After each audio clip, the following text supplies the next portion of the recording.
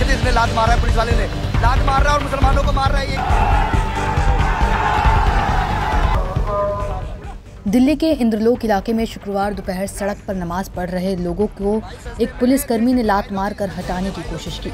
इस घटना का वीडियो वायरल होने के बाद इलाके में तनाव फैल गया।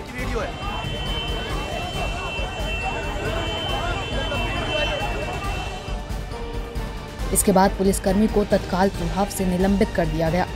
लेकिन वीडियो वायरल होने के बाद लोग घटनास्थल पर पहुंचकर हंगामा करने लगे। देखते ही देखते इंद्रलोक पुलिस चौकी को घेर कर नारेबाजी करने लगे।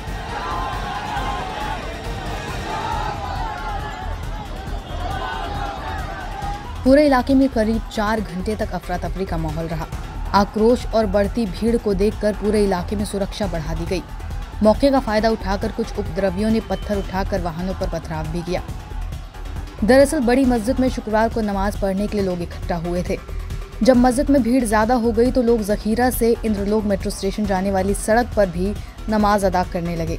इसी दौरान एसआई मनोज तोमर और अन्य पुलिसकर्मी पहुँचे। उन्होंने नमाज़ पढ़ रहे लोगों से जाम का हवाला देकर मस्जिद में जाने को कहा, लेकिन कोई नहीं उठा। इससे नाराज़ होकर एसआई ने नमाजियों को लात मारनी शुरू कर दी। इस दौरान लोगों ने वीडियो बनाकर सोशल मीडिया पर अपलोड कर दिया। इसके बाद आक्रोशित हुए लोगों ने इंद्रलोक चौकी को घेर लिया और पुलिसकर्मी पर कड़ी कार्रवाई की मांग करने लगे। इस कारण आसपास भयंकर जाम लग गया। डीसीपी मनोज कुमार मीना ने चौकी में प्रतिनिधि मंडल से बात की, लेकिन कुछ उपद्रवियों ने गाड़ियों पर पथराव कर दिया।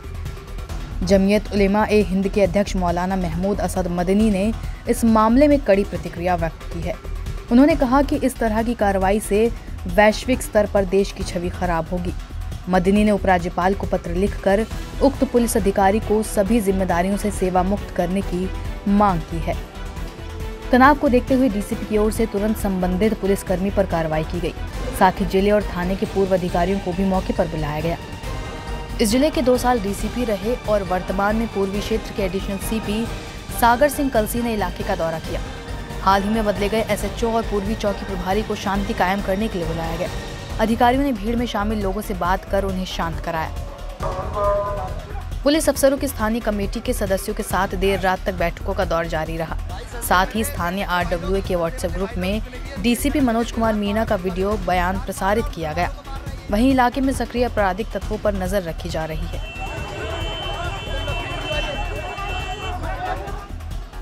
डीसीपी मनोज कुमार मीना ने आक्रोशित लोगों से शांत रहने की अपील की। फ़िलहाल इलाके में सुरक्षा बल की पाँच कंपनी तैनात की गई हैं। इसके अलावा पुलिस मित्रों को चौकी प्रभारी पर कार्रवाई की 200 प्रति दी गई हैं, जिसे भीड़ के बीच बांटा गया। वरिष्ठ पुलिस अधिकारी इंद्रलोक चौकी और सराय रोहिल्ला थाने पर मौजूद थे।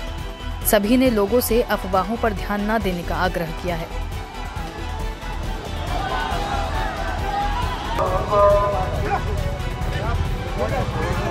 Yes!